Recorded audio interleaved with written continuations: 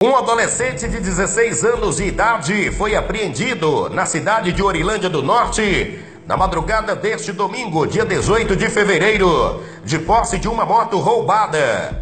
De acordo com informações da Polícia Militar, a motocicleta Honda CG Titan 150, cor preta, placa JVI 0227 de Tucumã, Pará, tinha registro de roubo. O menor, junto com o veículo, foi apresentado na Delegacia de Polícia Civil de Orilândia do Norte para as medidas legais cabíveis.